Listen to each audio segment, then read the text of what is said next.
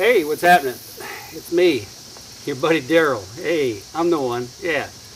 Anyway, he was wondering what I look like. Here I am. So anyway, here's the contraption here that I put together for uh, my remote camera operation.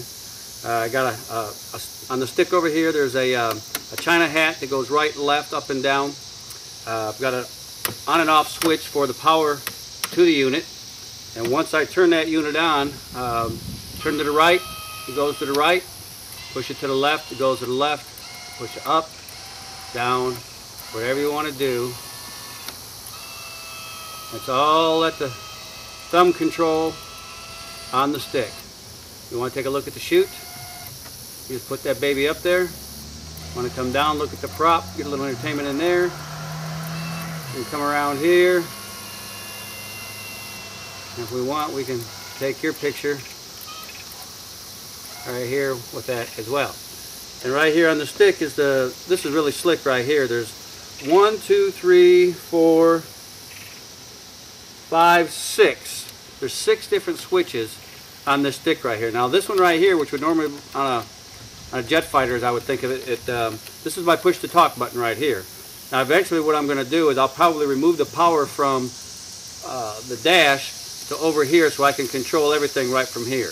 But there's several different configurations. You can These are momentary switches or always on or always off. Or you can click them. You got to go to the website. This guy's got every switch in the world. This is a really nice unit. It's not a cheap plastic made thing. It's it's aircraft quality and I believe he just said he got FAA approved. So, you know, check it out read what he's got to say about it.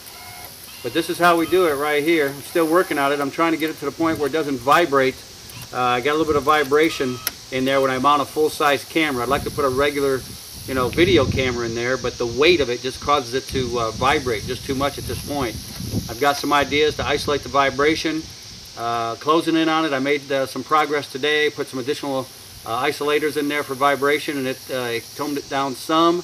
And I got one more idea. I'm not going to discuss it, but um, uh, too much detail to get into it. But I've got some ideas. I want to try to just basically insulate the camera from the unit uh, one more time and we'll see. My, my goal is to get a, a, high definition camera in that mount right there so that uh, we can get some good footage when we get out to Utah this fall. So there it is, the, uh, the video camera, remote video camera mounted on the Buckeye Eagle LX right here. Thank you very much for your time and attention. Stay tuned.